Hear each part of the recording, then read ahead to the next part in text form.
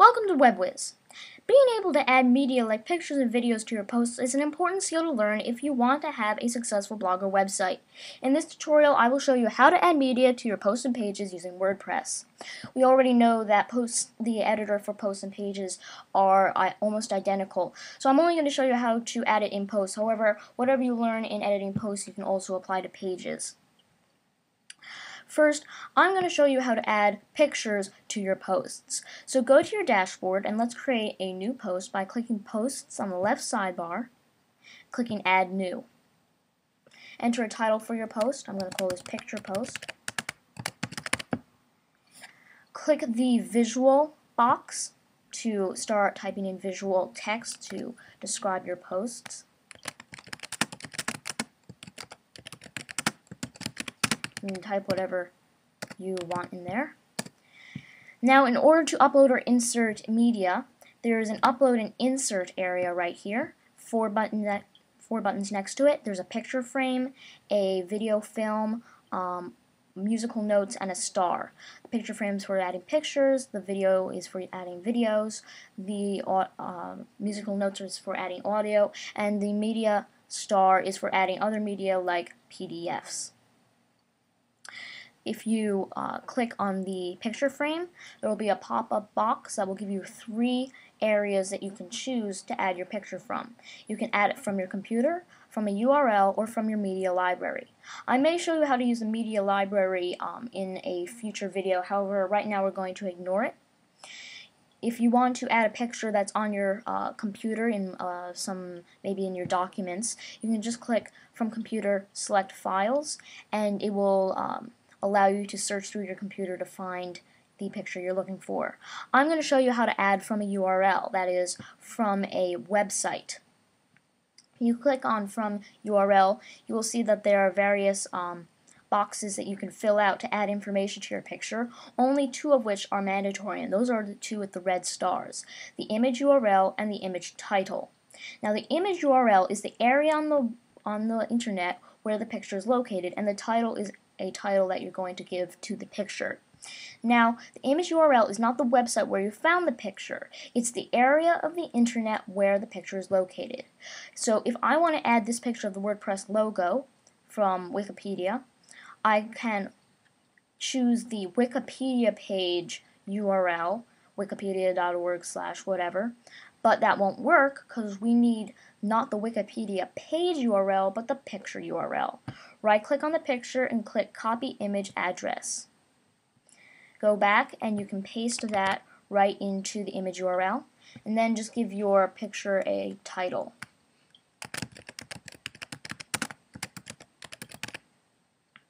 Click insert into post. What we see is that in the visual box our picture has been added. If you click preview you will see how this picture will look once it's published. But what we see is that this picture is too big. Now, if your picture is too big or too small, you're going to have to edit the HTML code. Exit out of the preview and click HTML instead of visual. This is the HTML code for the WordPress picture. Now, this may look a little confu confusing at first, but actually it does make a little bit of sense. This is the title that we gave to the picture, WordPress picture. See, it says title equals WordPress picture. This is the URL for the picture. This is the width and height of the picture. If we want to edit the width or height of the picture, you can just change these numbers. Now, of course, this has to be in proportion to your picture.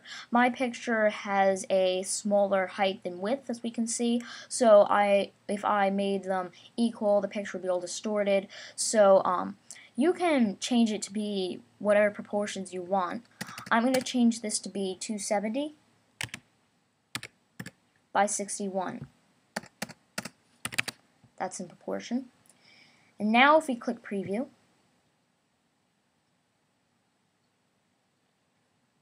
the picture is smaller and is um, more in proportion to the text.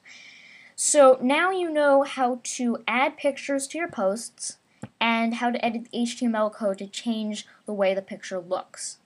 You can now publish your picture posts and now you know how to create picture uh, posts with pictures. But what if you wanted to add a video to your posts? Let's go to the dashboard and create a new post called video post. I'm going to call it video post. You can call it whatever you want.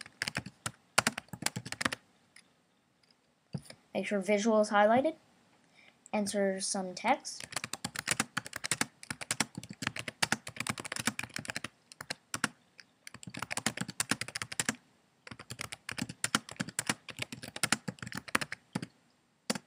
Now, I don't like to use the um, add video button. It doesn't always work. Sometimes it just displays a link instead of actually embedding the video.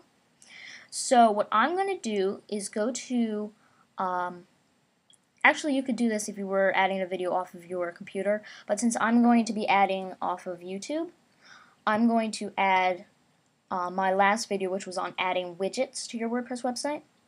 What I'm going to do is go to the YouTube video and make sure you're on the video page, not the channel page. What you're going to do is, if you are on the channel, click View Comments, Related Videos, and More.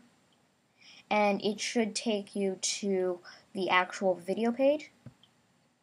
You can just pause it because it's going to start playing as soon as it loads up.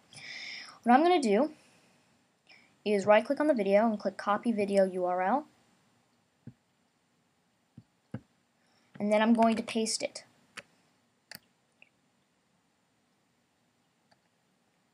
Sometimes it doesn't always work. Let's try that again. Let's click share, embed. Let's copy this, embed code. Let's add it to the HTML area. Let's click preview.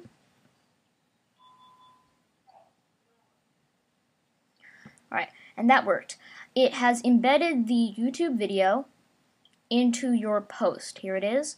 People can watch it.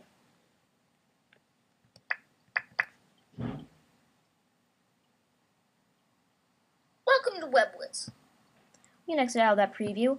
Now, if you wanted to change the um, HTML code of the video, you could do it. You can see that, like a picture, it's very um, easy to understand this. This is the width of the video, the height of the video. This is the um, the URL of the video.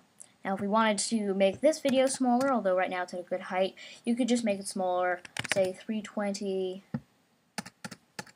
187.5. And this is the size of video that I use um, if you go to the home page of WordPress. You can see that the videos are very small so they don't take up all of the home page. This is the dimensions I use. 320 by 187.5. Preview. And look how small the video is. You can also make it larger, however, then it will it might start to take up the entire, uh, it might run over the widgets and be too big. Um, audio is very similar if you wanted to add audio, it's just like adding a picture. And media, you use the media library, which I may show you how to use in another video.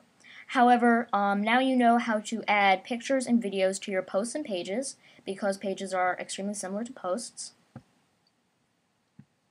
And your uh, being able to add pictures and posts should make it easier for your blog to look more professional or your website to look more professional. So, thank you for watching this WebWhiz tutorial.